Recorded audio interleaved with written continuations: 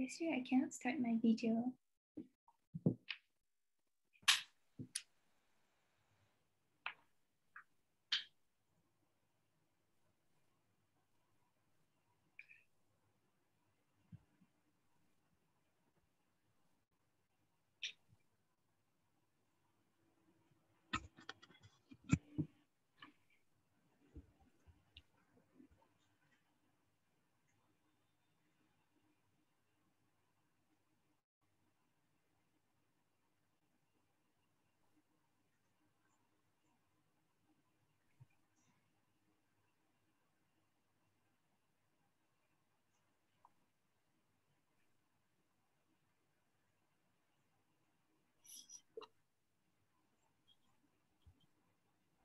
Morning.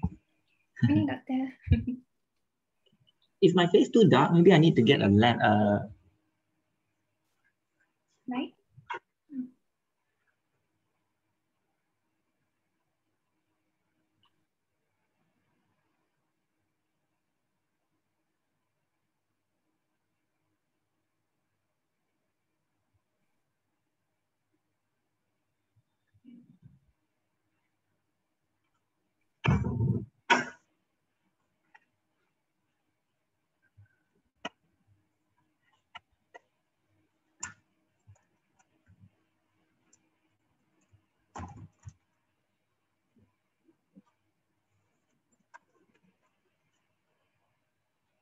Don't know if this is better.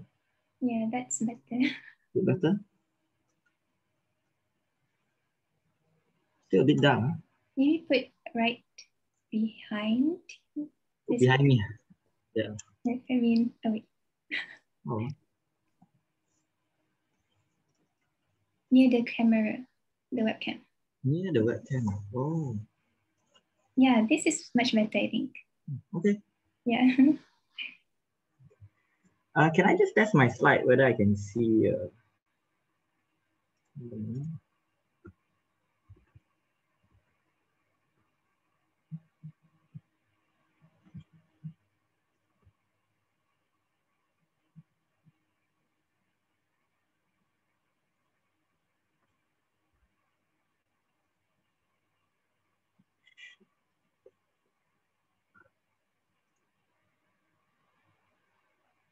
what do you see? yeah, we can see your slide. The, the whole clear. slide. You don't see the notes, right? Not that I'm No, just the slide. Yeah. Okay. Okay, that's good. Oh, people are in already. Oh, okay.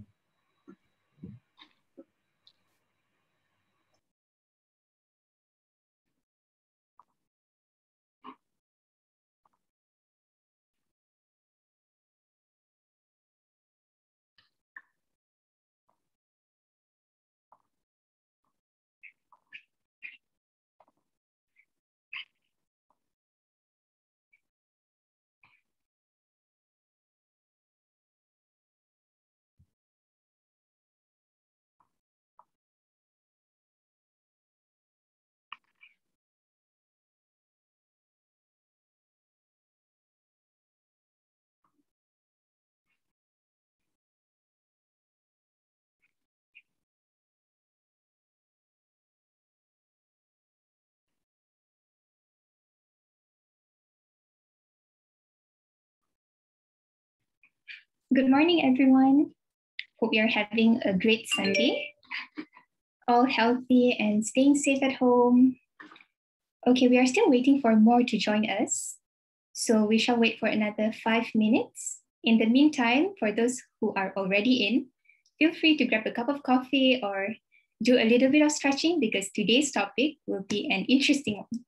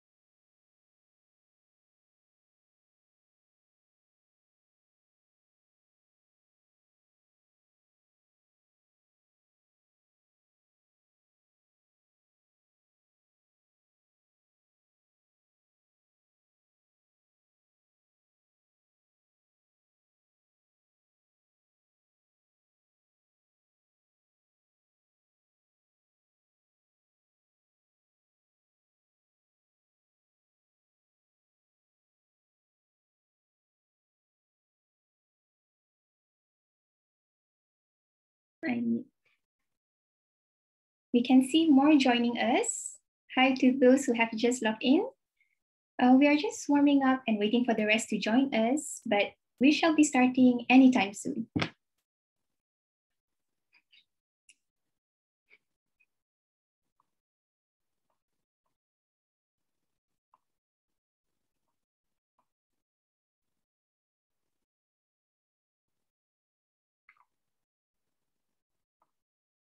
Okay, let me go over a few things before we start.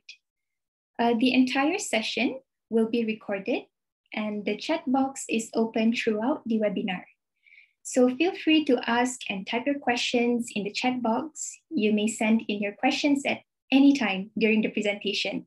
And we will collect these and address them during the Q&A session at the end of today's presentation. Hello to those who have just joined us. Let's wait for a couple more minutes, okay?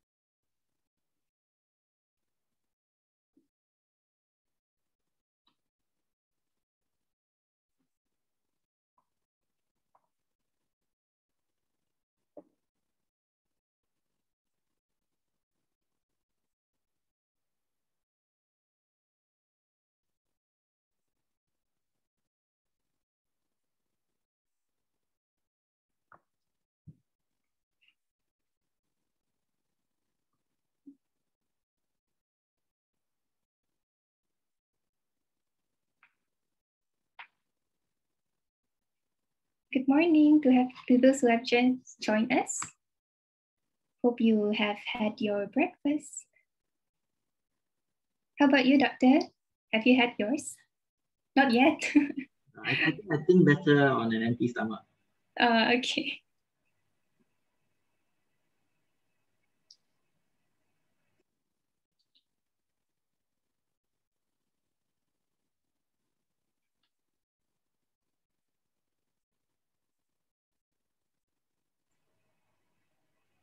Which batch are you, Amalia? Um, batch 24. Yeah. Okay, sorry, what, what year are you in? Year four. Year four. Yeah. Uh, and then what, winter, summer batch, does it still exist? Oh, um, our batch is the last um, batch following that system. Yeah, Oh. I'm in the winter batch. Ah, Yeah. so what system is it after that? Just uh, one One like one batch a one year? batch per year. Yeah. No Ah. longer two batches. Okay.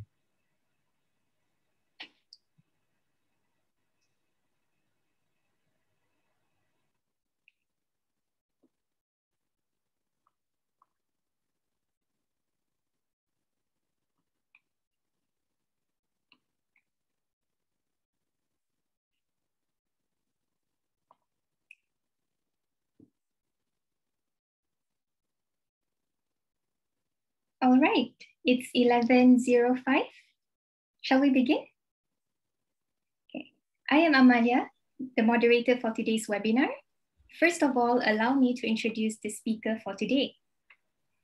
Dr. Kwok Eugene obtained his Bachelor of Dental Surgery, BDS, with first class from Penang International Dental College, PIDC, in 2011.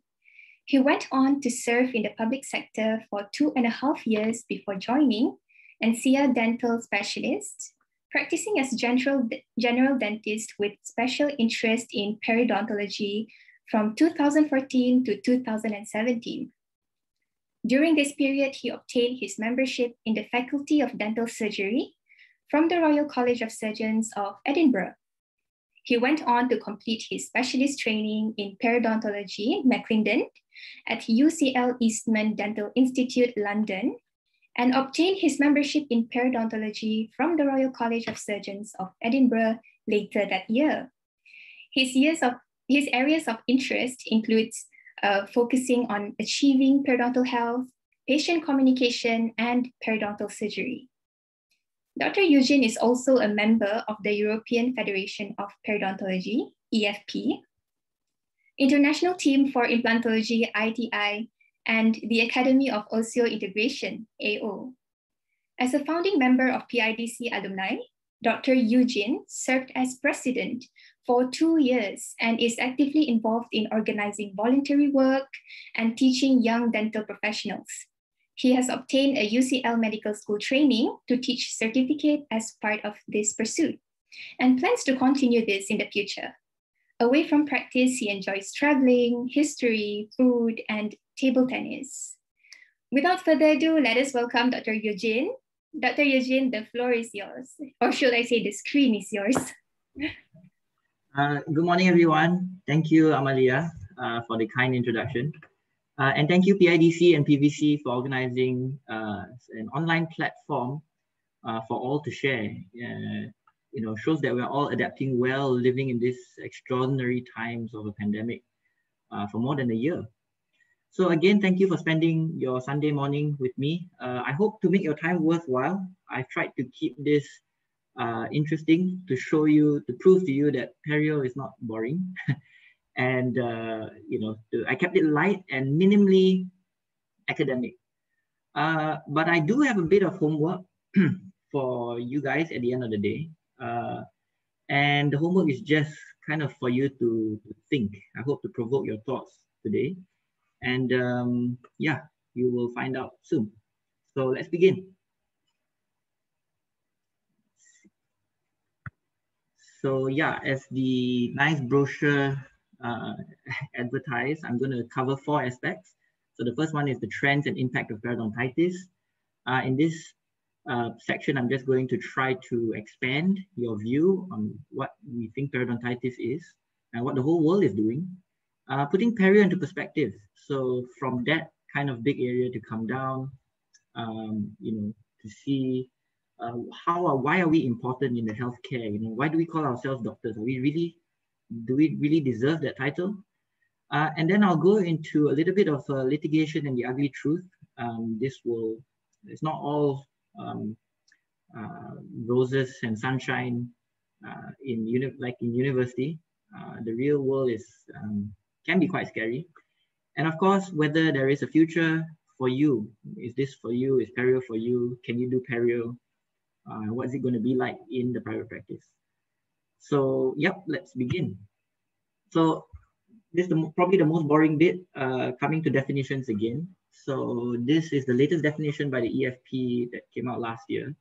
Uh, and I don't want you to memorize this. I don't like kind of memorizing.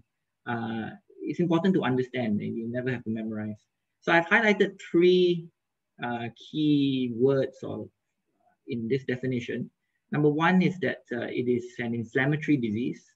It's associated with dysbiotic plaque, uh, plaque biofilm. And then as a result, it is, uh, there's a destruction of two supporting uh, structures. So if you notice that there is two components to it, firstly is um, the etiology is mentioned, which is uh, a dysbiotic plaque film. Dysbiotic just means that uh, the community of bacteria in the plaque is just not balanced, right? Um, and when it's not balanced, it becomes uh, pathogenic or it becomes dangerous, basically, uh, in this sense. Um, and uh, what they have put along with the definition are the primary features. And I think this picture sums it up quite well loss of periodontal tissue support. Uh, this includes clinical attachment loss, as you can see. Uh, radiographic bone loss, there are no x-rays, but uh, it's quite clear that you would see some hard tissue loss. Presence of periodontal po pocketing, yeah, I don't need to do that as well. Gingival bleeding. In addition to these primary features, there are there is loss of teeth, loss of function as well, the posterior support. So all this will be classic periodontitis. Now, on to your homework. So um, actually, it's just one question uh, for you to think. So if the etiology, as I mentioned, is um, bacterial in nature, then why can't we treat periodontitis with antibiotics alone? Uh, is it so far-fetched to come up with that statement? Um, this is what probably our medical counterparts think, right? Ah, dentists are not important. It's a bacterial disease. Why can't we just prescribe antibiotics? And it's not so far-fetched because if you can imagine if that is true, and if somebody develops a caries vaccine, we are all out of a job. And there is people researching into caries vaccines. The idea has been floating around for, I don't know, at least 10, 20 years.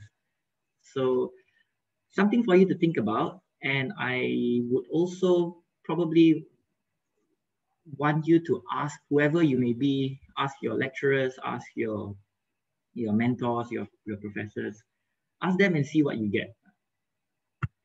Okay, so periodontal disease. Uh, periodontal disease or periodontitis. Now, this is what I um, find quite common mistake is that uh, people always get confused with periodontal disease or periodontitis. So I'm going to once and for all say this because um, I get it in my referral letters. I get it when my colleagues talk to me.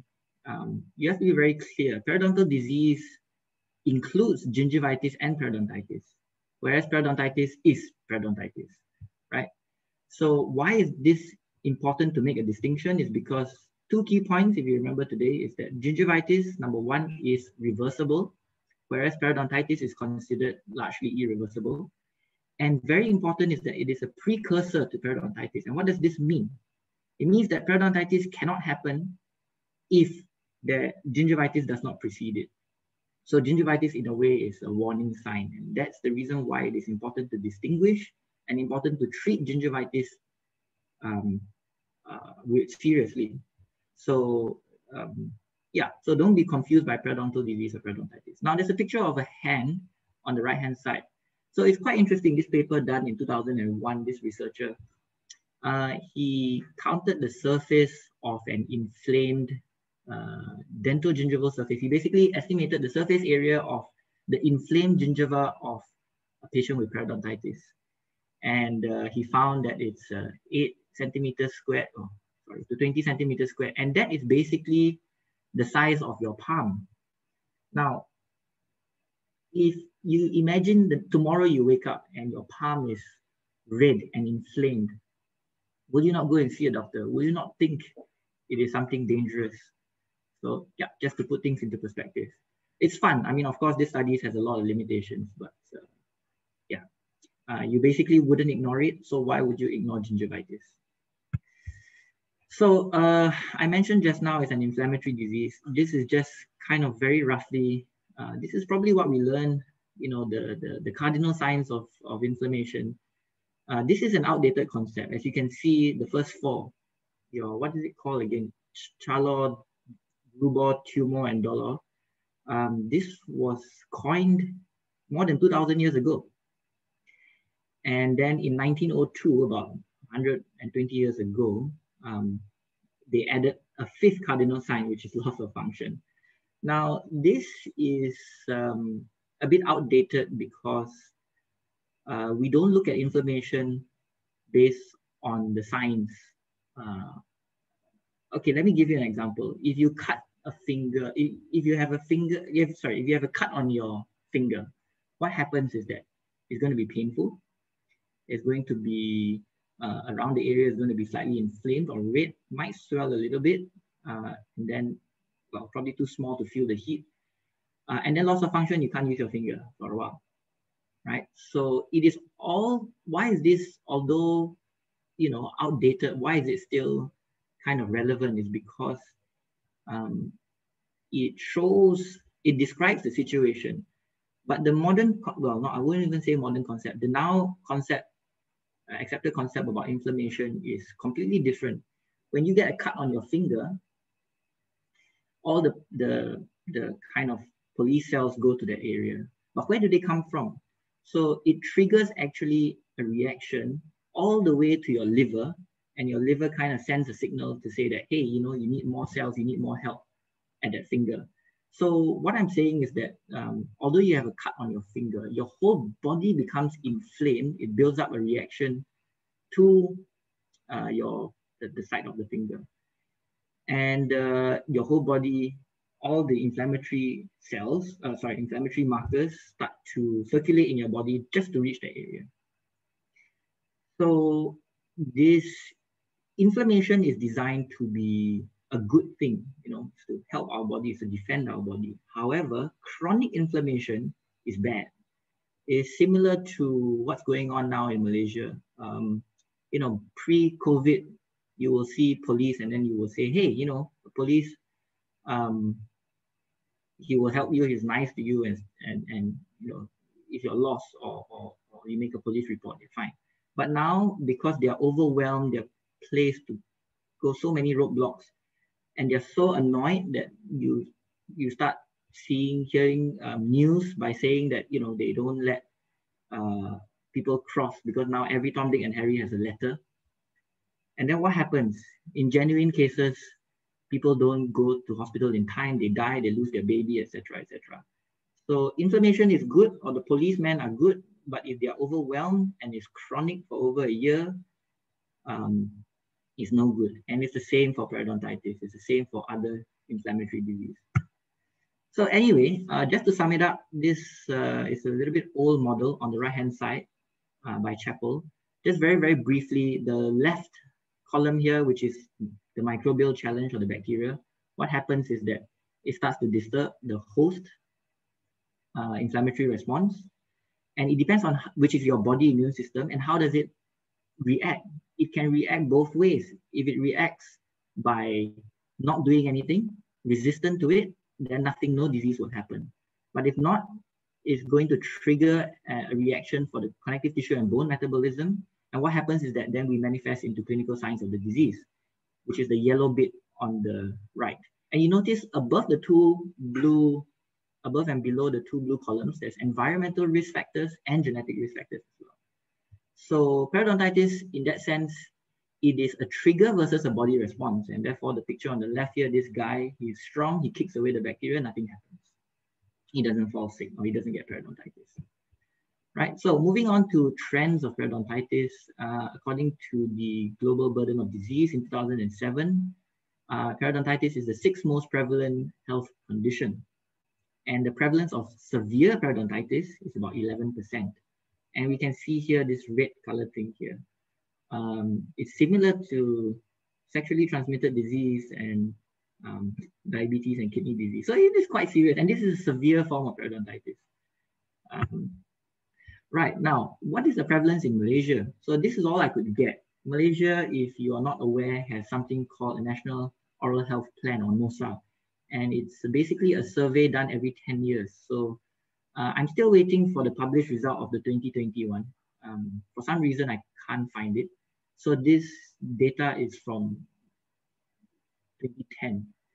Uh, and to, summarize, to sum it up, the prevalence of periodontal disease is about 94%, as you can see here uh, means almost everybody has periodontal disease. But remember what I said about periodontal disease. It's not the same as periodontitis. Now, I don't have the official figures here, but if I'm not mistaken, periodontitis is about 43% of Malaysians. So that's one in almost one in two adults have periodontitis.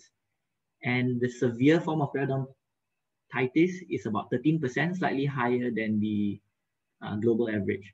So what I'm trying to put here, trying to put into perspective is that you cannot ignore perio. If 93% of Malaysians and globally have perio, um, you cannot cannot ignore this. And if half of them requires more advanced treatment, which it is, then you definitely cannot ignore perio. So uh, this article came out just a few weeks ago by The Economist. Uh, it's a really large landmark uh, what you call um, article. I'm happy to share the link with it. Uh, time to take gum disease seriously. So this is from an economist perspective, not from a dentist kind of perspective. And I sum it up to four big points, which I will kind of break down uh, one by one. So the first one is that prevention, diagnosis, and management of periodontitis on the long, in the long term is cost effective, right? So let's move on first. So they had many studies in, in Europe. I just took two, uh, the Netherlands and Italy. Um, and just to show you, can, can you see my mouse? Well, anyway, on the Netherlands, just put the baseline cost. Basically, they are spending 18 billion euros a year on their citizens to treat um, uh, what you call periodontitis or oral health. I, I think they clump it up together, the dental uh, kind of um, uh, needs. And if they were to treat only 10% of gingivitis, they would have to spend an additional 4 billion, right? Um, but if they eliminate gingivitis, they can save almost 8 billion. Now, the interesting thing is that if they treat all periodontitis cases, they really go hard on it, they have to spend about four times more, a whopping 72 billion to cure periodontitis in their country. Um, but what happens in the next 10 years is that they actually get a return of investment of 13.4, meaning that although they spend a whopping 72 billion uh, now, in 10 years, they actually save money. But who's going to spend 72 billion? But it's just putting things into perspective. Of course, this depends on each country's health system as well. Malaysia is slightly different. I'll come to that. Italy is slightly different. I think the Italians can't count. They're already spending 96 billion and they spend four times more, which is a whopping 387 billion. Uh, their return on investment is not so good. So that's why I picked these two countries, uh, contrasting with each other. I mean, it's just interesting to see what's the point from an economist. Okay, so uh, Malaysia, we did a study actually by Muhammad Dong, uh, and this was in 2016. So they did similar kind of estimations and they found that they spend about 32 billion ringgit a year on periodontal problems and periodontitis, as you can see, management of periodontitis. And our population is what 32 million? So it's about a thousand ringgit per person. Of course you know babies and kids don't have um periodontitis so it's, it's, it's not necessary. But uh, basically the estimation was this. They need to spend an average of 2,820 ringgit, which is about 3,000 ringgit per person per year to solve periodontitis. That's how they get the figure of 32 billion. Um, and then here they break down stage two, stage three, basically is their own uh, version of uh, quantifying the severity of, of periodontitis. Uh, I mean, logically, if a patient is really severe and needs surgery, the cost is going to go up. That's, that's all it means. Now, so coming on to the second summary of the the, the what you call the economists um, public publication is that we need better integration between dental and medical. So, uh, and this includes diabetes. Now, I don't want to spend too much time on diabetes. You can go and watch this online lecture that I just went last month by Prof. Ratna from UM. Uh, it's on their Facebook page, UM Dental Facebook page. She did a fantastic PowerPoint on diabetes and periodontitis. But I'm just going to sum up what she has said basically. So diabetes, if you have it, you're about three times more likely to develop periodontitis.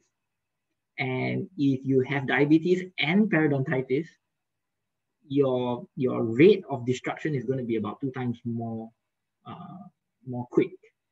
Now, the second main point is that there is a bidirectional link. means it goes both ways. If you have diabetes, you're going to get periodontitis. Your periodontitis is going to affect you diabetes. I'm not going to go through the, the, the, the details. Prof. Ratna's lecture goes through really simply and, and, and very nice. Uh, and the another main point is that if we're measuring it in terms of HbA1c, so there is a 0.3% increase in HbA1c if you have periodontitis. So what they're trying to say is that uh, your blood sugar control becomes worse if you have periodontitis. And what's really important is that if you treat periodontitis, you can have a reduction of 0.27 to 0.48, half a HbA1c level. I spoke, to my colleague who is a doctor recently, and he says that is a lot. That is really a lot. Half um, 0.3 to 0.5 is a lot. Now, um, there we go. So now this is a clinical practice guidelines for the medical doctors that has uh, was only published in 2000 and 2020 last year, December, and was only released January this year. Now you notice that there is a tooth on their guidelines. This is the first time ever that uh, diabetes, or rather the medical has kind of taken dentists seriously. First time ever. Uh, because I think in 2019, it was historic where there was a diabetes convention or whatever, and they invited periodontists to go for that meeting. So there is some changes, and I think that is, is very good. So again, let's look into the clinical practice guideline, see what the doctor thinks of us, right? So we know in our undergrad for the longest time that uh, there's a bidirectional link, but the doctors never knew that. Um, so, I mean, this is just the prevalence of diabetes in Malaysia. Malaysia is champion in Southeast Asia. Um, you don't need to know. Now, this is what I really want to show you. So look at recommendation number one. Oral health education should be provided to all patients, emphasizing increased risk of periodontal disease. And if you successfully manage periodontal disease, it will improve your uh, metabolic parameters. This is grade A evidence, means high evidence, kind of show the bidirectional thing. Now look at the second point. Uh, the doctors should investigate the presence of periodontal disease if they see a, peri uh, diabetes, a patient with diabetes. And if they do note that there's something wrong with their gums, prompt referral, referral should be made to the dentist for a periodontal examination. Now, how often do we do periodontal examinations? I think based on this, I also believe that our undergraduate training should also change and uh, include periodontal examination. And look at point number three. Even if you're just newly diagnosed with diabetes, you need to refer for a periodontal examination as part of their management. Even if no periodontitis is diagnosed in, uh, initially, annual periodontal review is recommended. So basically, the doctors have put the ball in our court. And if we do not, if we neglect our duties, there is no more excuse now. If we neglect our duties, we will be in trouble.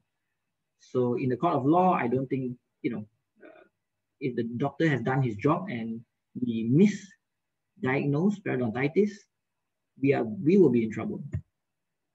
Uh, I'm just going to talk a little bit about smoking because smoking is a big factor in the new classification. Um, basically, I can give a whole lecture on smoking, but I'm just going to say that uh, you need to stop the smoking as well. Uh, evidence say that if you counsel, if you do a brief counseling, uh, you have a success rate of anywhere from 4 to 30. That's really low. That's why I say uh, it's a whole topic by itself. In any case, it is part of our uh, treatment or management of periodontitis to actually address it. That means you cannot ignore it. You have to address it. You have to say you're smoking, don't smoke. Uh, the risk is anywhere from four to six times more if you smoke to get periodontitis.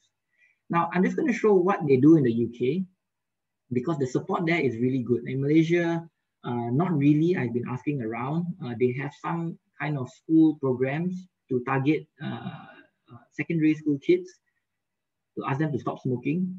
Uh, that's good, but uh, this is where I think the future may be, and I hope Malaysia can, can follow this. Just go to their website, smokefree.nhs, uh, smokefreenhs.com, right? And look at that, they even have an app. The app allows you to track your progress, see how much you're saving, get daily support. And if you go to their app, it's very non-judgmental. Uh, just let me bring you to it. So uh, you get a free personal quick plan, you get, get some information, and then you can find uh, a, local support around you. Uh, and nothing is forced upon you. And they only ask you three questions, right? And I'm going to show you what the three questions are. First one is, how soon after you wake up do you smoke your first cigarette? That's it. You know, I don't even know how this information gets translated, but yeah. Second question, how many cigarettes do you smoke a day? And the third one, what have you used when you've tried to quit before? And one of the answers here is never tried to quit before. But if you have tried, you know, what have you used? Da, da, da, da. And then you click get, get your plan. They bring you to this uh, page where you can find expert support. So you can see this column here on the left uh, where you just key in your postcode, your address, well, your postcode, and then they will find the nearest kind of um, uh, uh medical health clinic, uh, quick smoking clinic support, and a support group for you. Immediately just link you up. All anonymous. You haven't even keyed in your phone number, you haven't even keyed in your, your email address, your name, your age, nothing. And um, they then provide e-cigarettes, which is another topic. I'm not going to cover it in this lecture. Uh, patches, uh, gums, and then also your support tools like, as I mentioned, the app. So I hope this will be in the future one day. Now, the third part of it is litigation and the ugly truth. How am I doing for time? Okay. Um, yeah, so I'm going to start off by saying in the UK, uh, and this taken uh, from a website. So people think that Americans like to sue dentists, but you'll be surprised that UK overtook them about three, four years ago. Um, dentists are getting sued left, right, center. And 50% of it, as you can see, uh, sorry, 44%, almost half of it is because of undiagnosed or misdiagnosed periodontitis. So if we can say that this is the trend in the UK, which has surpassed the trend in the US, it should be coming to Malaysia very soon. So half of the people getting sued are because of undiagnosed perio. And I left in 2017, I think, and I think uh, that year itself, or 2016, um, there was a big article in the British press saying that this guy won uh, a whopping, I don't know how many million in the lawsuit because he was told, he wasn't told that he had periodontitis. So that also shocked me. And uh, what shocked me as well, one of my first few patients when I started working there was that I got a referral not from a dentist, but from a dental hygienist. So even the awareness among the dental hygienists is higher than the dentists here in Malaysia. So that is something to think about as well. Um, and in the UK, everybody complains about the GDC, which is equivalent to our MDC. Uh, my friends used to joke that they have a bulletin every month and you turn to the last page, the full page is of dentists being struck out or suspended. Every month you got, I don't know, hundreds of dentists being struck out, either suspended for six months, three months, one year, 10 years, or completely just struck off the list. And um, so people are very scared. People are very scared. People are more aware and then they refer. And therefore they have developed this, as you know, the, the, the, the, um, the BPE is developed from the, the, the BSP, which is screening tool, uh, which I think, I believe our Malaysian government uh, now, from what I understand, they make people do this um, screening tool with the, the BPE. Uh, it's not a full charting, but it's better than nothing. It is considered in the UK as a minimum standard to do a BPE on in adult patients. So anyway, in Malaysia, what's going on in Malaysia? Uh, again, Malaysia's data is not really updated. This was back in 2017. And that year itself, there were 11,250 new dentists. Uh, I believe now it's about, I don't know, maybe 1,000, 3,004 perhaps. I'm not sure. This is not updated and I don't dare to say it. An article came out on Star last night and uh, they were using also the 2000, this data that I'm using. So it's not accurate. Um, anyway, my point is that it's going to be more saturated. And as you know, the government is getting more and more difficult to retain dentists. And therefore, whether you like it or not, you may very well be pushed into private practice. And that is pretty scary.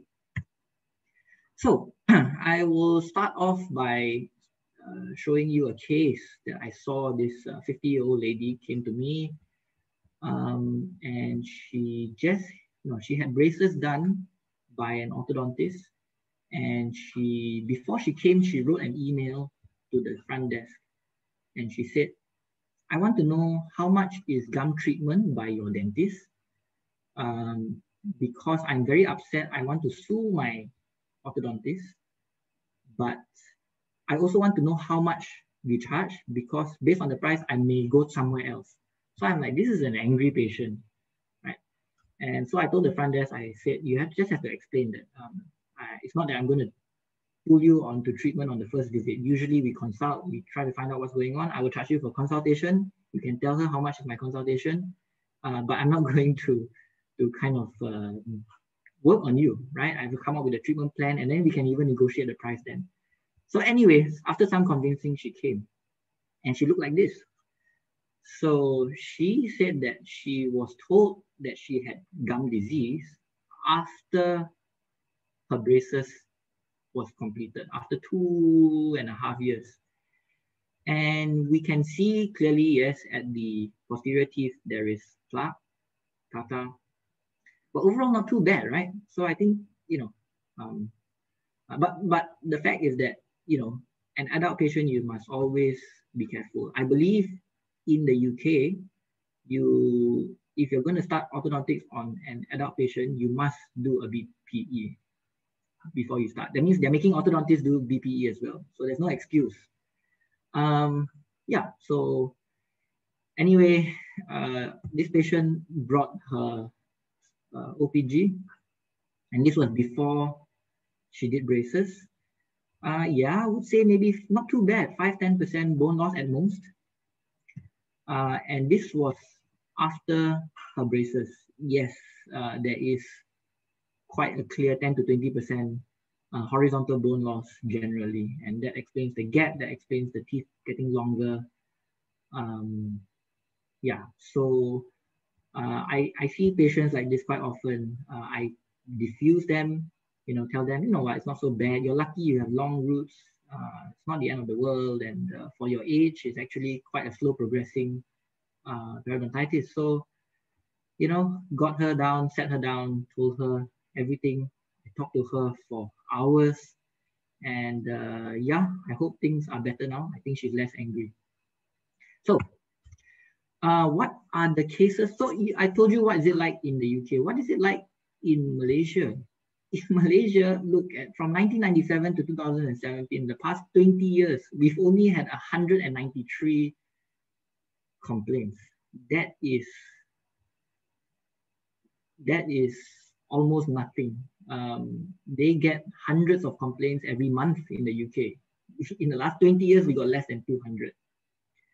Half of it is negligence, fraud, alleged incompetence. I don't know how many are due to perio, but maybe not. Uh, look, there's even one sexual molestation. Oh, at three there. So that's a bit um, funny, Malaysia. And of even of all these 193 cases, uh, five were withdrawn, uh, four no action completed. So, you know, I, I, I, the reason why I point out these statistics is that, and what I explained in the case just before this is that there are patients brewing, there are litigation cases brewing. And don't on the other hand, don't be complacent. Don't think that ah Malaysia, nobody sues anybody in Malaysia, so I can be, I'll be fine. Don't. No. I have many stories. They're all brewing. Uh, I've diffused many, I, I think. Uh, but uh, yeah, try not to end up there. I think uh, I think the IDC would be uh, would be quite upset if they find out any of their students end up in hot water. So uh, this is another case that I saw last week. I didn't take clinical photos. I was so, I didn't have time. But this is a similar case. As you can see, she is a 35 year old, young, very pretty lady. Um, and in fact, her complaint was, I want to look better with the front teeth. And she saw a dentist. Her dentist referred this case to me. And I was like, oh my goodness, look at the amount of bone loss at the, at the posterior teeth, uh, even the premolars. Surprisingly, clinically, it didn't look so bad. So she didn't think she had a problem. And uh, when I told her all this and showed her the x-rays, and then she told me, only after that, I didn't get a complete history. Only after that, she told me, she says, you know what? I had braces done seven, eight years ago.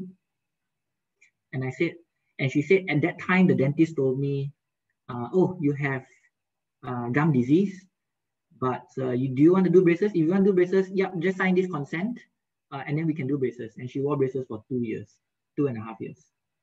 Now I'm I cannot comment. I wasn't there. I I never really I, I only half believe patients' stories because uh, I'm not there. I'm always I, I tend to side with the dentist. Um, so I don't know what happened.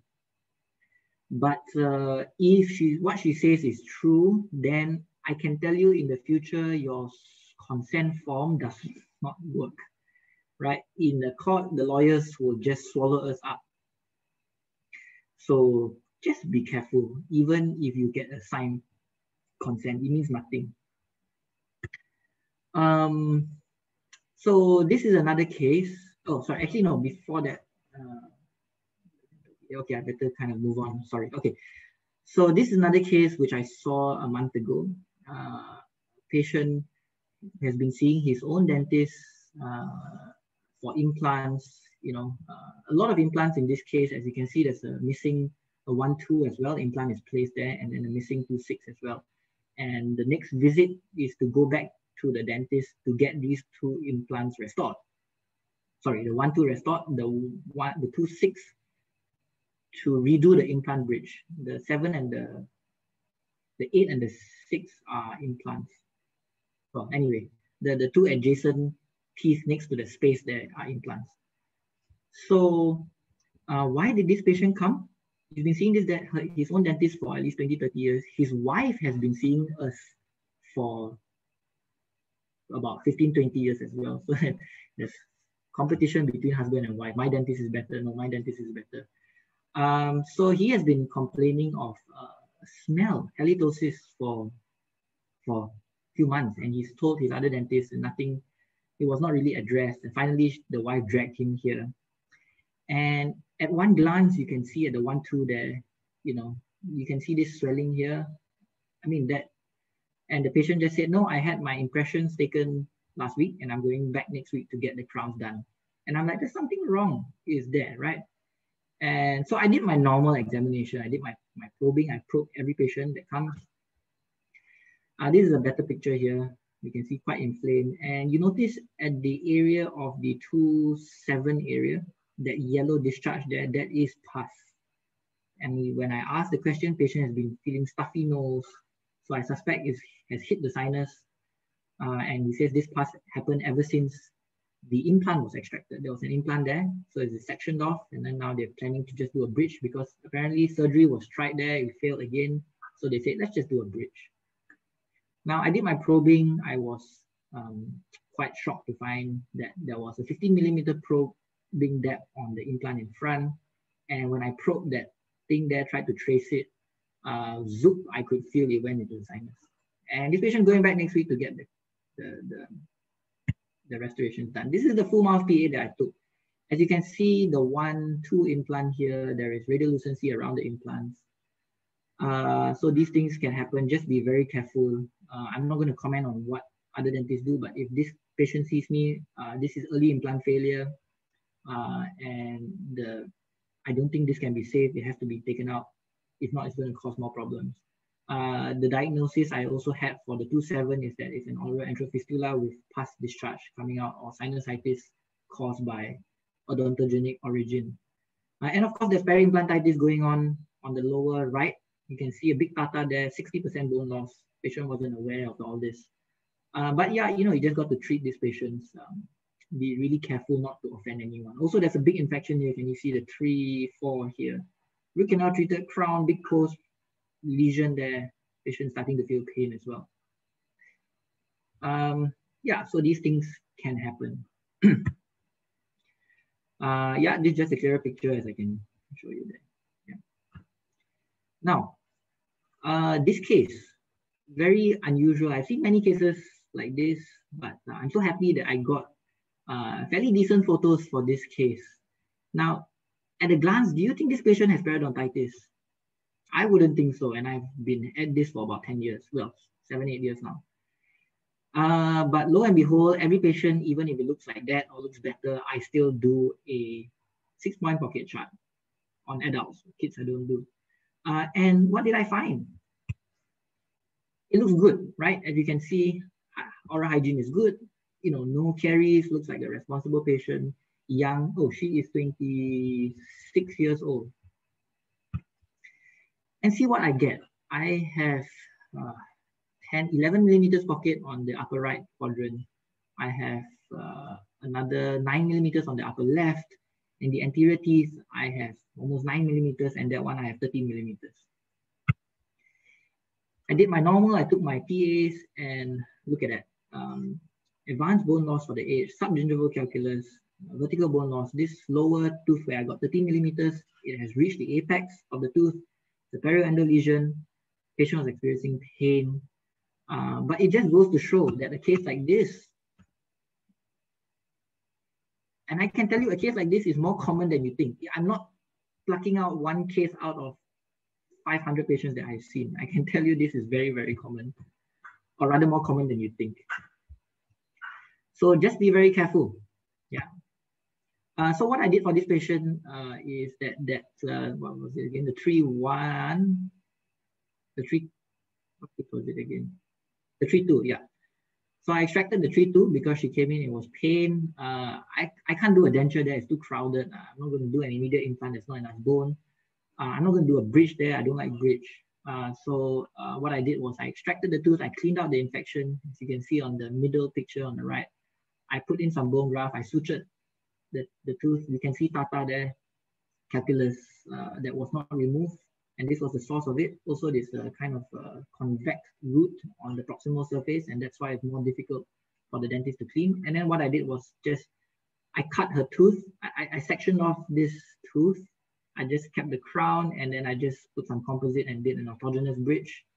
Um, yeah, and and she was happy. This is another case. I was referred earlier in the year, uh, in January, uh, and patient with a letter said that uh, uh, periodont periodontal abscess. And uh, the, the, the dentist did a deep clean on the patient and uh, it subsided a little bit, but after a month, it came back again.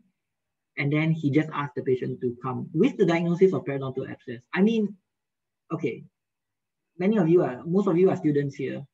Is this a periodontal abscess or is this something really nasty, right? So anyway, uh, I sat the patient down and I said, this is not a swelling this is a growth. And I just pause for a few seconds, stare deeply into the patient's eyes in a serious tone. I quickly got him for a biopsy. And yes, the, the, the I sent it to uh, I sent it to Prince Court Hospital because uh, I think UM's UM doesn't do certain things. Well, anyway, or they were shut down for that period of time or something. Uh, usually I we send it to UM. But anyway, it came out as squamous cell carcinoma. And I was upset because uh, this so-called abscess or swelling was detected end of November.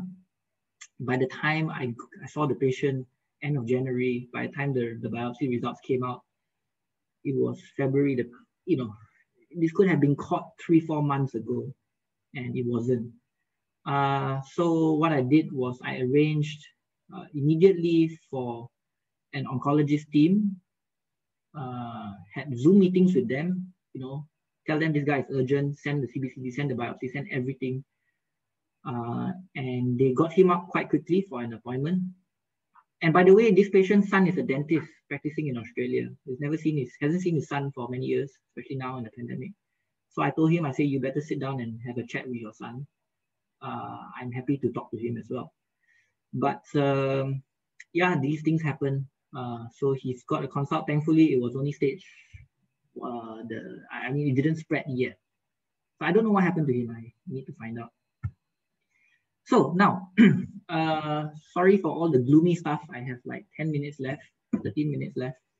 Uh, I'm just going to show you some of my cases and hopefully end this with a very light note. So if you think perio is boring, uh, I'm going to show you what I do in practice. Okay, so this is a okay, let's stop this. So this is a video here. Uh, let's see. On the left-hand side, which I'm going to play, can you see the, the, the kind of uh, gums there? Uh, yeah, so the patient was very shocked. And what has happened, the story goes is that the patient went to see a dentist and the dentist said, ah, that's fine, let's do a laser, charged a bomb for it, uh, had laser done. She was quite happy that it went down, but then within a couple of weeks, it came back up again like that. Uh, and uh, we saw her, or one of my colleagues, actually Dr. Leong Yixian saw her, and then he got a full normal, did his normal charting, did x-rays, medical history and found out that she was on uh, what was this one of those five she was one of those uh, now i can't remember there, there are only like four drugs that you will know during your viva that you have to know for your viva for the gum swelling i can't remember what was which one she took um, but anyway so what dr leong did was just say you know what go and see a doctor and change your medication without even touching her. Anyway, he did uh, treat her in the end. Medication changed. And just by the first round of non-surgical, you, you notice the difference. She was so happy. It's uh, more effective than the laser and a fraction of the price. So what happened, this patient, he then referred it up to me, on to me. Uh, I did gum surgeries. Sorry if this looks a bit uh, scary for a Sunday morning for those who haven't had breakfast. Um, I basically raised the flap. I, I, there's granulation tissue here on the, the top. I'm not sure if you can see my cursor, but anyway, that's it's real difficult to extract. Uh, sorry, to remove. And then once it's clean, it looks like this. I put a little bit of, of bone, um, a xenographic bone particulate, and then I sutured it. This is, I did full mouth. So this is the upper right. This is the upper left. Similarly, my incisions, I raised the flap. Uh, I did papilla preservation flap. Uh, I removed the granulation tissue. It looked like this. I believe I added some bone. I don't have the photos. And then I sutured. It's really difficult to take photos when you're doing surgery. It's. It's enough, difficult enough to take photos during non-surgery when you're all sterile and stuff. Uh, so this is uh, quite an achievement itself. Uh, lower right quadrant as well, uh, incisions, um, cleaned up the granulation tissue. I decided halfway that the 3-7, sorry, the 4-7 couldn't be saved. And then I did an extraction as well. I socket, I ridge preserved the area with some bone graft and I sutured with PTFE sutures. Three months post-op, she looks like this. Uh, I think I think it was quite good. So her main concern, I forgot to say, her main concern was that actually she wanted to look pretty. So I'm like, no, hold on. You have more serious issues than looking pretty. Uh, but anyway, she was so pushy. She was like, she's she's very nice. She was like, can I do my braces? Can I do orthodontics? I'm like, uh, you know. But anyway, she managed to. I, gave I gave in. I referred to one of my orthodontic colleagues, uh, and they started braces for her. So you can see she looks really good now, really clean. Uh, big difference. I was quite happy. I would have preferred to wait six months but I think we started a little bit early uh, because she was also pushing my orthodontist. In the end, it was just under six months. I think maybe five months we started. So um, orthodontics, perio ortho can work, but uh, this probably for another lecture. Orthodontic uh, treatment has to be modified a little bit. You can't move the things too quickly. You have to, patients has to be really tip top in their condition. In fact, you can see here, there's a little bit of plaque buildup here already. We're not happy. So we keep sending her, well, send her back to Dr. Leong to do the maintenance uh, to clean for her. Uh, another thing that we that I do, I don't like to remove wisdom teeth, but in this case I did. Uh, apologies for this slide. This is not an OPG. This is actually part of the CBCT. Uh, you can see the 3738. Now, in a case like this, uh, you know, classically, one option uh, that is popular is that you remove both the 7 and 8 because the 7 is, is also gone to the tip of the apex. And that's exactly what happened to his left side. You can see the 6 is there, 7 is, is missing, 8 is missing. So I'm like, no, I'm not going to let this happen. But I don't like doing uh, wisdom teeth. But I said, no, I have to because uh, I know what's going to happen if you don't. So uh, I took a CBCT. Uh, the picture on the left here, we can see that the infection uh, is distal to the seven root, but then there is still a very good lingual plate. And this cross section, these 10 slices of cross section here, you can also see that the lingual plate is there, big infection, far from the nerve. So what I did was basically I said, hey, you know what, this, I can grow some bone back. So which is what I did. Uh, so I hate doing wisdom teeth like that, barely visible, no space to work at on just the, the cusp there that is visible. I raised the flap very conservatively, gutted very, very conservatively. Periodontists like to make our life difficult. We gutter, we take so long, and then we remove the tooth, clean it out, dig out the granulation tissue, put some local antibiotics, flush the area, get some good blood, and then I put in bone graft. And then look, even I can't suture properly. I had no keratinized tissue, so I had to suture a little bit of the buccal mucosa. But I really had no choice, if you can see pre-op. Uh, oh, before that, as you can see, there's a temporary filling on the 7. I got Dr. Leong to extirpate the pulp because I said he's going to be in pain and he extirpated the pulp. I'm still waiting for the results. Uh, as you can see here, then they kind of did the, the obturation there. And uh, oh yeah, this, sorry, this actually is not very clear. You can see distal to this 7 here, there's a lot of bone. So I did manage to grow back bone all the way and I'm quite happy. I filled up the whole area with bone. It's just that now it's become a chronic apical periodontitis, and then hopefully obturation will solve the case. Um, yeah, I will wait for six months before I reprobe again, and I would like to take an X-ray and and hopefully uh, see a, a, case like that. I have another case done recently, very similar as well. Well, um, okay, since this topic is a little bit about future, yeah, uh, this was a uh, 20, no, about a 30 year old lady. She had tongue tied her whole life, but she says, I want to learn a new language. Uh, and uh, she wanted to learn Spanish. And she said, I can't roll my R's, my R's. So she says, please do something about it. and uh, so that's what I did, basically. Straightforward. Now, a little bit to implant dentistry. Sorry, am I running? Okay, I've got six minutes. That's good. okay, implant dentistry. Uh, so these are the cases that I, I get. Uh, so, you know, if you're in a perio practice or you decide to do perio or work in a perio clinic, uh, you will see cases like that. So this is a case of a hypodontia. So you can see the retained deciduous uh, 8, 5, 8, 4, yeah, 3, 4, 5, 8, 5. And uh, so this is what the x-rays look like. Uh, a lot of bone, but sometimes hypodontia is not as easy as it looks. But anyway, uh, what I wanted to show you is that how we are moving forward in the future where we are designing with digital. So uh, the antero-posterior position, the buccolingual position, the width, the diameter of the implant, everything can be planned. It is still has its flaws. Don't follow digital dentistry blindly.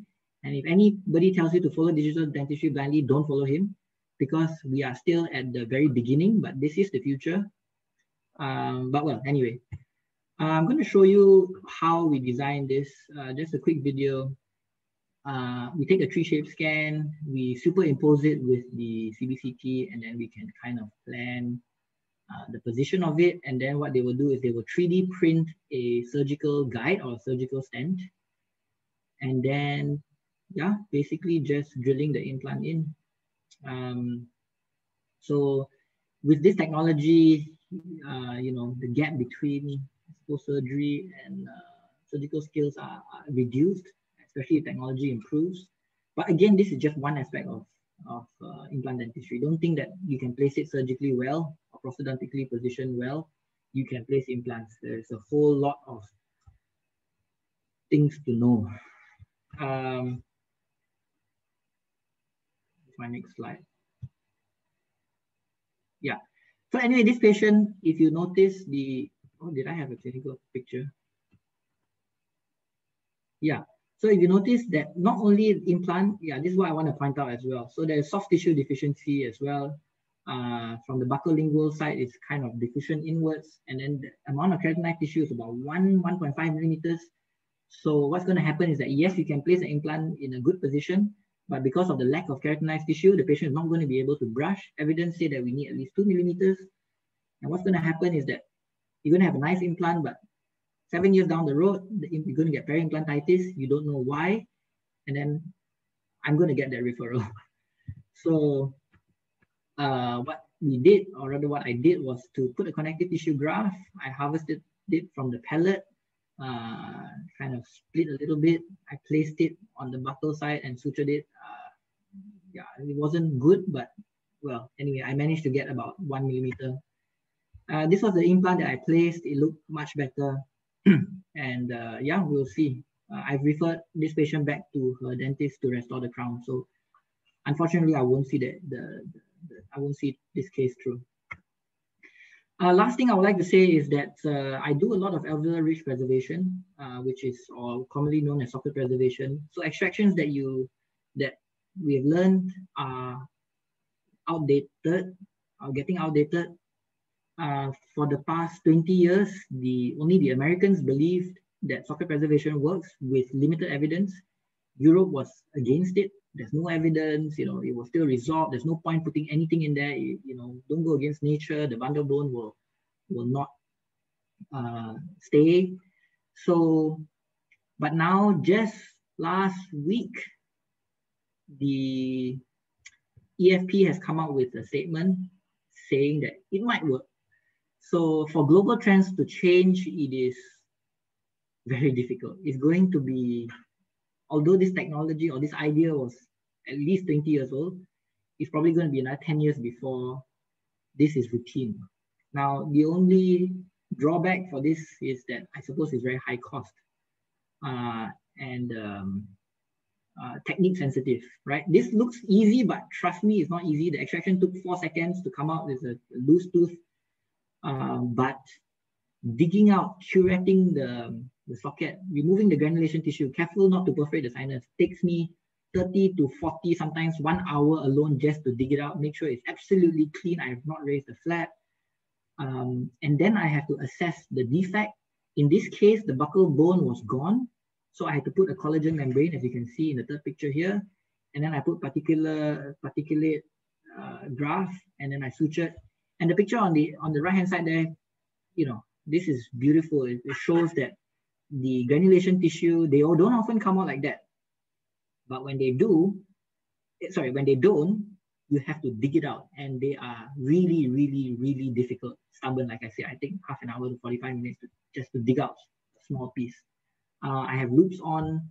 I make sure I have very good suction retraction because if you leave any granulation tissue inside there, you put an expensive bone graft inside there, you charge the patient till the end, it's going to fail. And how are you going to justify it to your patients? So, but this is going to be, I believe, the future very soon. Just another case, uh, this tooth needed to go. Uh, it was next to an implant. There's also a PA lesion on the tooth in front on the 4-5, which, uh, well, anyway, you can see buccal swelling there. Uh, buccal wall was gone again. It took me so long to clean out. Uh, I put a membrane there. I put bone graft on the bottom left, and then I sutured. And look, three months later, it healed really nicely. The bottom right picture. So uh, what happened is I continued, I placed the implants in grafted sites. I managed to maintain the bone. In fact, there was still a little bit deficient on the buccal, uh, but because it was minor, I could graft it and put a membrane and suture it. If I did not do the preservation before during the extraction, I doubt I could do this. I could, I probably needed to do a block graft or something else, or maybe a titanium mesh, go in six months again. Uh, but yeah, uh, that's the x-ray of the implant. So before I end uh, on a high, just want to show what I do. This is, I don't know if this is considered advertising. If it is, I'm so sorry, but uh, I just wanted to end on a high. This is the clinic that I work, the practice that I work at in KL.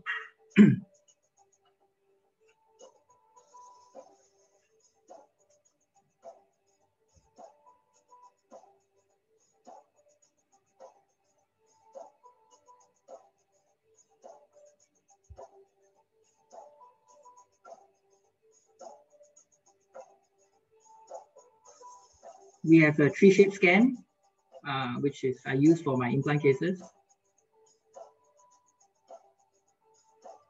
Uh, CBCT, CBCT. And then we have a milling 3D machine. Uh, we were the first in Malaysia to get that machine, but I'm going to stop the video here. And lastly is perio for you, or you know whether you specialize or not. There is a future in perio, I believe, and uh, I think we need to catch up if we still don't believe. And uh, this is my team. Uh, you can recognize Dr. Leong there. Uh, he has helped me. Without this team, I am I wouldn't be able to get all these cases. I wouldn't be able to. It all seems nice, like I do it, but I can tell you the things that I don't tell you is the support team behind me. Uh, I'm very grateful for them. Uh, and uh, yeah, so whether you decide to do perio or even not perio, or specialize, or even do ortho, or even do prostho, you know, there's always a place for you in the future. And with that, I thank you all for your attention. Thank you so much, Dr. Eugene, for the captivating and insightful presentation really leaves us thinking the whole time. Like I found myself nodding most of the time, eyes glued to the screen, because it really is interesting.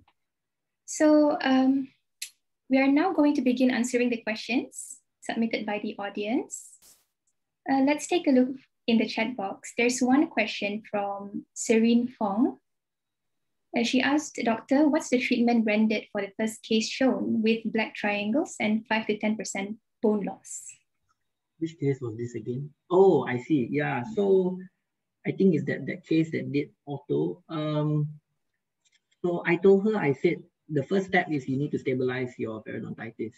So I coached her for oral hygiene instructions. I say, you honestly haven't been brushing well um, and that's also one reason. So don't don't blame your orthodontist, right? You have to kind of take some responsibility. Obviously, I don't speak like that, right? But that's just the idea. Uh, and uh, I do what I do, which is non-surgical treatment. Uh, do a deep clean. Uh, make sure the hygiene is um, the the plaque score is below 15%, and then I reassess again in six to eight weeks, which I haven't. That's why I'm, I'm talking in the future tense. Uh, so what's going to happen? I'm going to expect that she's stable and I'm going to expect that her brushing, her brushing has been improving. So that's good. So then I'm going to sit her down and tell her this. I said, look, the main issue, the underlying cause, which is your periodontitis, is arrested for now. But you have the susceptibility, meaning that periodontitis can happen anytime down the future if you drop with your brushing. So that needs to, to be seared into your mind because I said you come and see me twice a year or three times a year or whatever, but the other 360 days, you need to, to brush your teeth. So I said, fine, that's stable. Now, what are we going to do to move on? So I, how I would manage this case is that, look, there's black triangles, so it's a cosmetic issue and or aesthetic. And with cosmetic aesthetic, I don't like to do it. I'll probably refer it to a dentist who dares to do it. Uh, so her options in this case is obviously no more ortho because I think the ortho was actually really good. The teeth are positioned quite well. And the other two options you have is to do composite buildup uh, or composite veneers. And, but I don't think this patient wants it because um, it's the lower smile line, right? You know, black triangles, when you smile, she had the low smile line. I told her, I said, you are very conscious about it because you look at it in the mirror. But hey, when you smile, you don't really see it. So do you really need to do it? You know, we don't, we shouldn't do things just for the sake of doing it. Um, yeah, so uh, I haven't reached that stage yet, but that's what I'm going to do. The other option is to put a gingival veneer, which is something like your acrylic denture, just the pink part, wearing it. Uh, that is more conservative, but uh, that is another discussion. But yeah, I would basically section this case into, I solve the perio, underlying perio first, and then whatever cosmetic is, um, to me, is it's not yeah, to me, cosmetic is cosmetic. It's a different department of dentistry. Okay, hope that answers the question. Also, the next question is also from Serene Fong. Uh, she asked, uh, Doctor, for the 3-2 extraction case, can RCT and perio treatment be attempted since the tooth has endoperio lesion? Oh, wow. Hey, that's a very good question. Um, for that case, no. Uh, but the case where I showed, for example, the um, the the wisdom tooth case where I did, where I actually did do uh, ask Dr. Leong to extirpate the pulp, and then I I, I grafted the area uh, because there is a perioendo lesion. Now, what makes me decide whether I do that or extract is whether I have enough walls in my defect. So, for example, in that that wisdom tooth case, the CBCT showed that I had good lingual wall, I had good buccal wall, I had good distal wall. Uh, if I'm going to put anything in there, it's going to stay. Whereas this tree two, there was the whole wall was gone. So even if I were to treat perio, how is the bone going to go back, grow back? Um, very, very unlikely. I mean, there is a study that has uh, that has come out, uh, a 10-year survey, uh, 10-year study by Cortellini. Cortellini is the god of regen, or so we all perio people say um, and he has taken up hopeless teeth cases, hopeless prognosis teeth cases, and he claims that he has like, I don't know, 80, 90% success rate in 10 years. So cases like this, he will attempt. Um, is it possible? Biologically, yes, maybe. But uh, my hands are not Cortellini's hands. Um, the patients don't have the same support, same kind of hygienist. Malaysia don't even have hygienists compared to him uh, and he does his surgeries under microscope. I have yet to try that. Uh, so is it possible biologically? Yes, but then in this case, based on my expertise, no, I think there's only one person in the world that would dare to try it, and that's not me. So yeah, case to case basis. Okay. Doctor, we have a lot of questions. Oh, okay. so don't mind answering it now? Yeah, I'm okay, very happy to. Okay, oh. so then, uh, yeah, the next question, um, I think.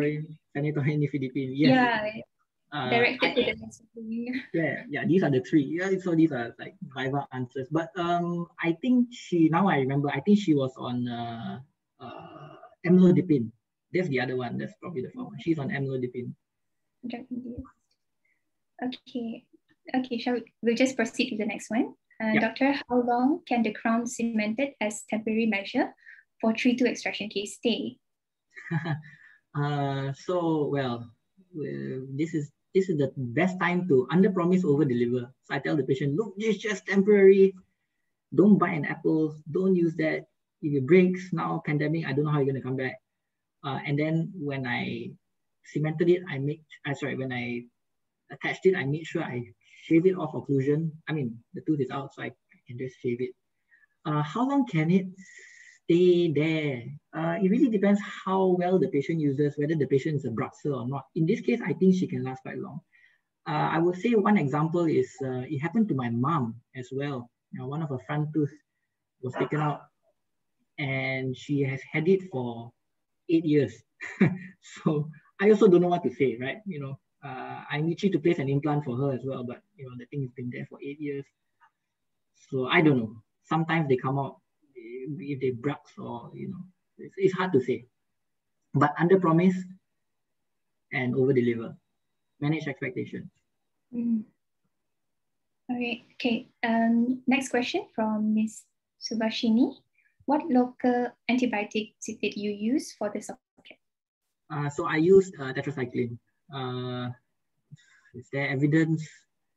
Uh, I, we are extrapolating evidence from the local antibiotics used in non-surgical perio treatment. So as you know, non-surgical, which is your ultrasonic scaling, your curettes, etc., etc., uh, whether or not you use it with systemic antibiotics or whether or not you use local antibiotics, the whole debate is going on. Uh, systemic would be what? Amox and Metro shows the most evidence up to nine months. Uh, local uh, is very tricky, but uh, after going through a few systematic reviews, uh, tetracycline seems to be the highest. So um, yeah, but it's a tetracycline brand only found in the US. So I don't know, nobody knows how to get that brand, but uh, we just use tetracycline to substitute uh, and hopefully that works. I mean, so far it's been working for me. So whether there's evidence, I don't know. But yes, I use tetracycline, extrapolated evidence from the systematic reviews from the non-surgical treatment. Okay, uh, we shall answer a few more from the chat box and proceed with the Q&A by the anonymous attendee. Next question, a very long one from Muhammad Akmal. Uh, doctor, as we all know, periodontal therapy, uh, albeit the importance, is not really famous among the public, unlike orthodontics and restoration. In this regard, did the KKM or MDC or any NGO help uh, periodontics to promote the consultation? And the second one, you know, in your opinion, will this field get more attention among general practitioner and public in the future? I certainly yeah. hope so.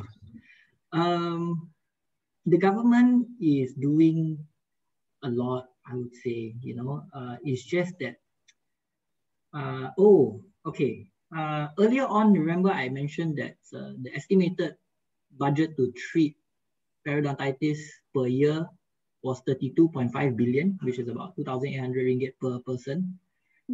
Um, this estimate was 60% over the budget that MOH gives perio people. So there you go, right? So are they doing uh, enough? I suppose your question is that are they doing enough? I would say they are doing all that they can. They're restricted by money, they're restricted by politics, they're of course restricted by manpower as well. Um, but I would say Perio is doing well for itself. Or that's what I like to think. You know, uh, of all the specialties, you know, Malaysian Society of Perio has been around for some time, and then they're quite active.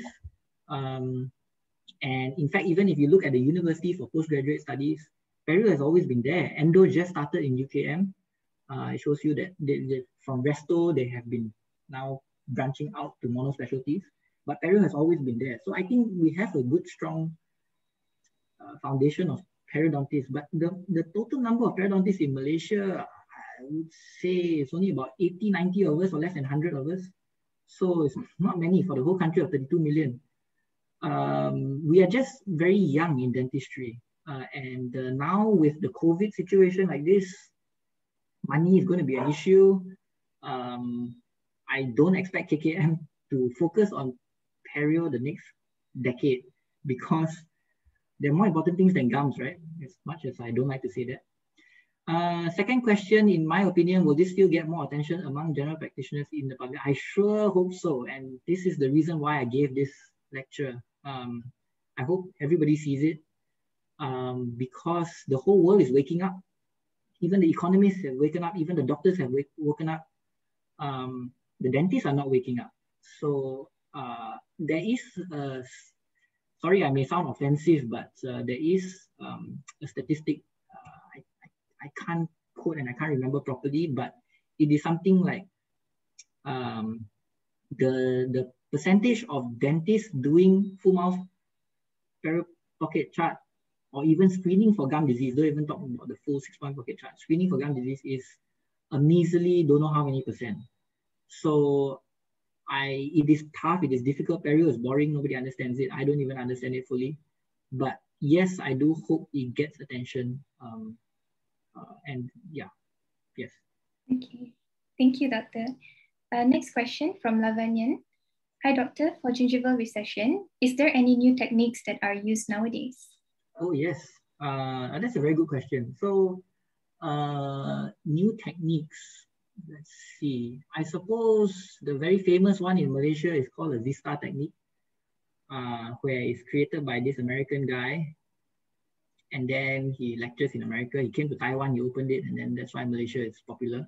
But I can tell you all these funny techniques, the evidence is not strong. Um, the best the, the best place to do gingival recession in the world today is actually in Florence, Italy. That's the most concentrated group of people really doing recession there. And I was lucky, fortunate enough to be taught by them. And why do I say it's not that I'm biased, but I would say 80, 90% of the, the published data for the last 30 years have come out from Florence, Italy.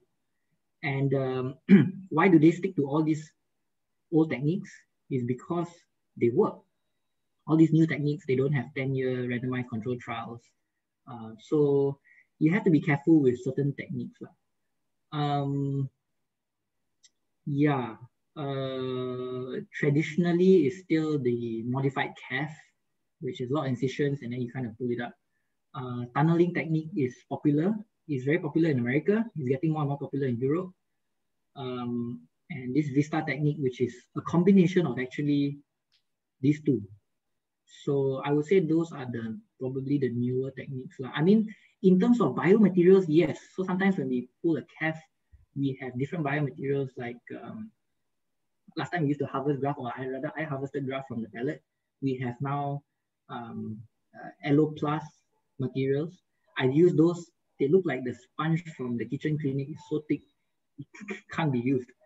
Um, but yeah, we're still very new in developing techniques. That's what I would say. Okay, thank you, Doctor. We, we passed 20 minutes from the oh. time, yeah. but there are a lot of interesting questions uh, by our audience. Oh, sorry, there's more questions, is it? Yeah, there are a lot. So, oh, there are a lot. Okay, okay, I'll answer. Yeah. Uh, sorry. Uh, I think we'll take one more for the live session, and the rest we will definitely attend to it after. Okay, good, good. Yeah, I'll so one. Faster, sorry. it's interesting, yeah. So next one by Dugarshini. Hi, doctor. Thanks for the interesting presentation. I would like to know how effective would be the bone graft by using patient's own tooth, since some doctors are practicing it in their treatment. Yeah. So uh, they, they what they do is they take the tooth out, they grind it, and they use it as particular bone graft. So uh, you need to go back to the basics to understand why they do that. Uh, because bone graft, any material there are three properties, right? Osteoconduction, osteoinduction, and osteogenesis. So what I used was xenograft, which is purely osteoconduction, means that there's no cells, it's not inductive, and it's not your own bodies, it's not, uh, uh, uh, what's the word now? It's not, um, uh, it doesn't, it's not your own bone basically. So uh, osteoconductive just means a scaffold. The scaffold just means that you want to put a buffer long enough for it to, to stay in place for the healing to take place. It's basically, um, yeah, that's what scaffold means. Uh, to maintain the space long enough for the healing to take place. So it has actually no other properties. It has no cells and stuff like that. So if you use a patient's tooth, it is also a slow resorbing material, let's say. And you crush it, you make it into bone, you put it inside the bone graft. In theory, biologically, it works.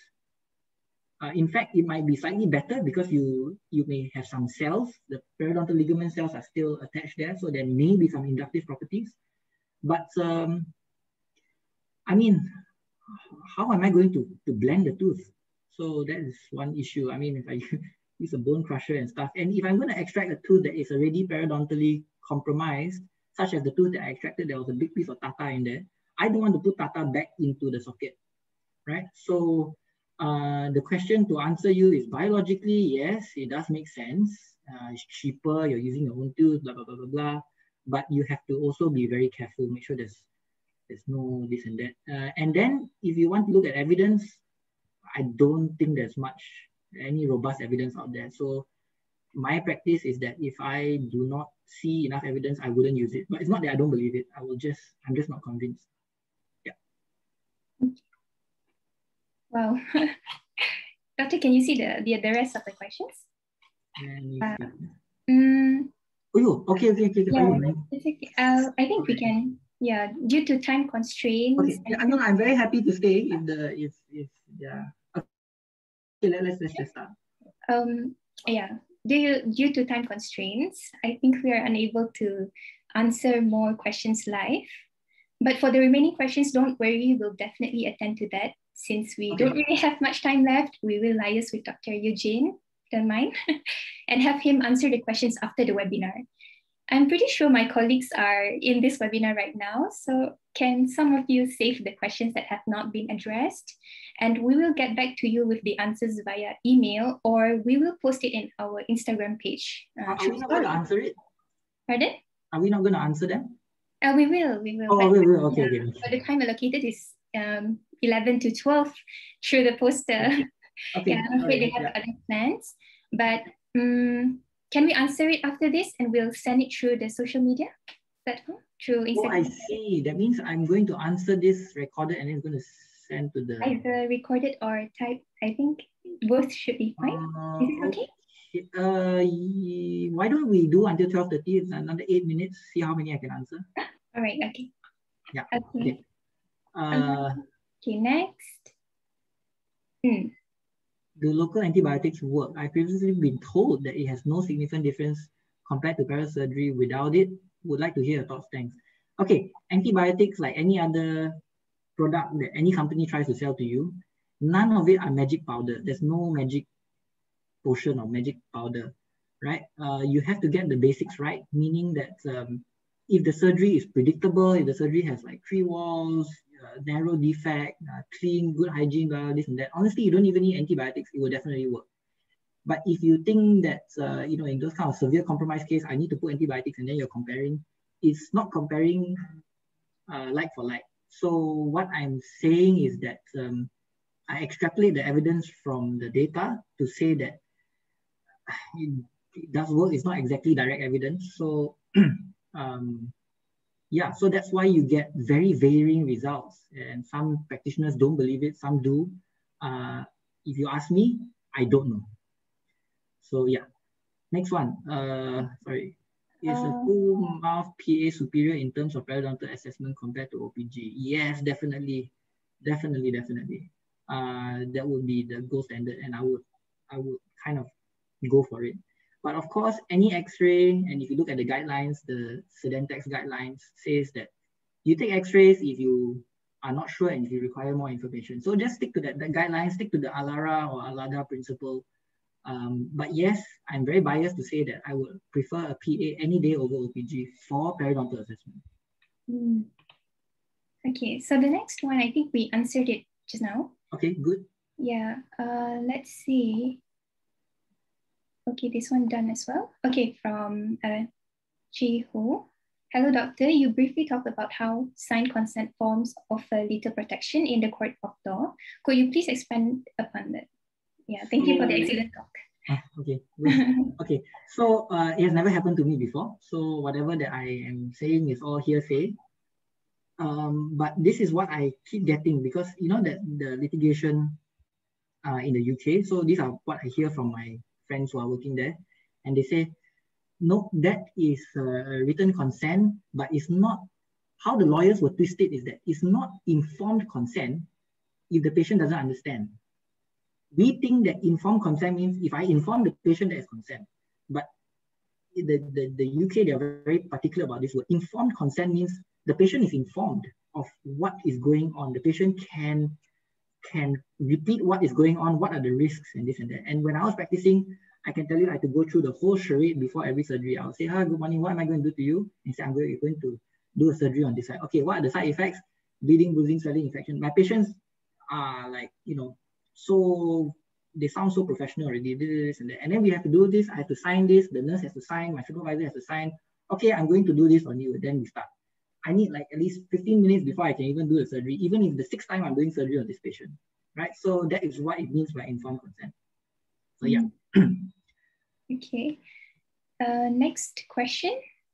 Uh, how well can root planning stop bone re resorption? Do you routinely recommend your patient to do root planning? Stop bone resorption. What is bone resorption? Bone resorption, bone loss due to periodontitis. If you remove the source, your bone will not resorb. Unless you're talking about, wait, let's see again. How well can root planing stop bone resorption? Uh, okay, I think I know what this means. That means how effective is non-surgical treatment. So uh, if you get all the parameters correct, meaning that if you remove the etiology, you control the systemic risk factors, the patient is brushing well, it should stop. Uh, it should stop. And but the, the question is that how well, uh, yeah, we don't know, to be honest. And that's the reason why even if a patient is so-called stable, every year I will do a six-point pocket chart and compare. So 2020, I get one, 2021, I get one, 2022, I want 2023, I can say, hey, look, this one is deteriorating on this spot here. I need to deep clean this spot. And then, etc., etc. I don't do the whole deep cleaning on the whole patient again. So do I routinely recommend to do root cleaning? Only if I have to, because I always tell patients, I hope I only have to do this to you once. Um, but a lot of it depends on the patient itself. So yeah. Okay, let's move on with the next one uh, by Hong Sang would like to know further how do you handle cases that were referred or came in for second opinion with possibility of litigations against the previous dentist? So there is this uh, talk that I've been to uh, dentists who have now become lawyers and helping uh, patients sue other dentists. and basically, the statistics say that uh, a lot of patients want to sue is because they were actually not they nobody actually listened to them. You know, when we talk about communication, is how I speak, how I tell you. But I can tell you one great tip that will carry you for life is that listening is part of communication. Keeping quiet, listening is part of communication. And sometimes that's all the patient wants. Patient comes in really stressed, coming to see a dentist. You need to listen, diffuse the situation. So I just keep quiet. I just listen to her. You know, I know she's angry, you know, blah, blah, blah. Just let her talk to me right? There's a, there's a stats that say that we dentists tend to tend to interfere with our patients every six or seven seconds. So that's quite annoying, right? I know we want to be limited with time, but you know, like I said, I spend two hours with this patient. So what do I do? I try to diffuse the situation and, and just look forward. I, always say, okay, this is what happened. Just forget it. What are we going to do next? What are we going to do next? Keep on pushing, looking forward, looking forward. That's my strategy. That answers the question. Okay, one last for the live session. Okay. Uh, morning, Dr. Thank you for your ses uh, session. 94% of Malaysians suffers from periodontal disease. I want to start screening and identify patients that may be suffering from the disease. Any advice on what I can do to start this practice? And second one, I often hear people say that periodontitis is a diagnosis for life. Is this true? if yes, uh, when does the treatment stop? Uh, a simple question number one, a simple way is uh, the BPE, uh, basic periodontal examination. I think we learned that, or rather, I think I learned that in PIDC. Yeah. So if not, then the website is very, very clear. It's uh, basically using a different kind of probe, a ball end probe, and you're only putting by sextants and you're giving, you're measuring a score, the highest score on each sextant. And actually the BPE, what people don't understand that it's actually a screening tool to refer, meaning that if you got three or four, you're supposed to refer. So if you read the whole BPE process, if you get this what it's supposed to do, you get this what it's supposed to do, uh, that would be a great way to start. Minimal cost, it takes less than five minutes, three minutes to do that. Second question, I often hear people say periodontitis is a diagnosis for life. Is this true? Is yes? When does treatment stop? Never, right? We need to make money, right? No, okay. um, yeah, when you put it that way, it sounds bad. Let me give you an analogy. If you see a patient, patient comes in today and then you see attrition on the lower anterior teeth. So the diagnosis is tooth wear or attrition. Now, can you cure attrition? The answer is that you can prevent and you can treat, but you cannot cure attrition. Sure, you take composite and build it up, but that's treating, that's not uh, uh, curing. So in that sense, attrition's diagnosis is a diagnosis for life as well. Periodontitis is the same, don't make it sound so doom and gloom. It can be prevented and it can be treated. And basically it can be kind of controlled in that way. Uh, if yes, then when does treatment stop? Never, because, uh, but this is a serious thing. It, it never is because uh, we know that there's multifactorial and a lot of it is um, your systemic. So for example, if let's just say you see a patient 50 years old, yeah, you've controlled the disease, da, da, da. maybe when he's 60 years old, he suddenly develops diabetes. He suddenly develops uh, heart disease or, you know, develops some autoimmune disease.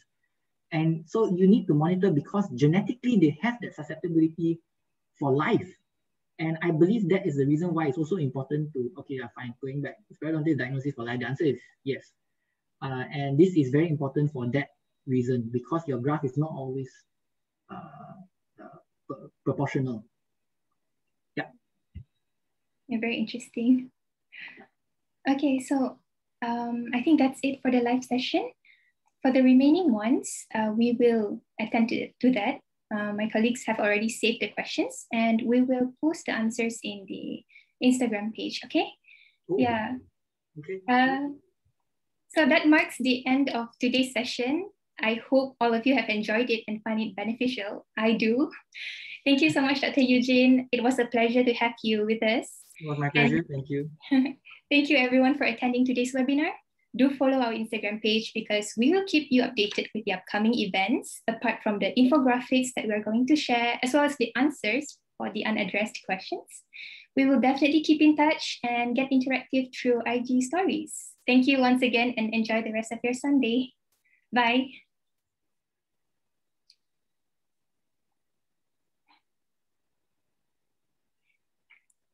When do I answer these? Huh? Ah? Sorry, oops. Um, Dr. Eugene, I'll contact you. Yeah, okay. okay. You have my number? Yes, I do. Okay.